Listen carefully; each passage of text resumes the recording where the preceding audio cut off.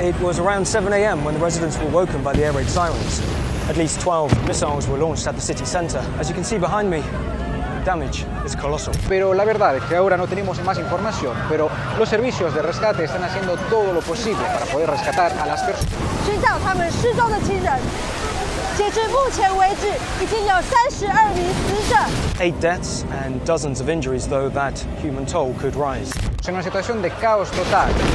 在未来几个小时内，还是会持续攀升。哇，风超大的啊！你看收音没有问题吧？风超大。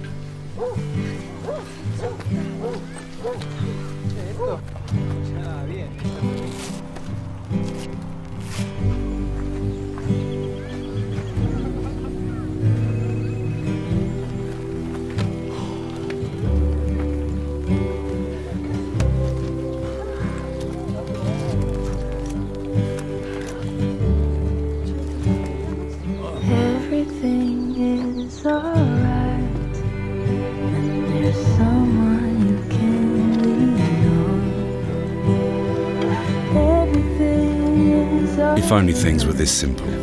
But just because the news moves on, it doesn't mean that a crisis is over. That's why Humanity and Inclusion has been working tirelessly for 40 years to ensure that the most vulnerable people are never left behind.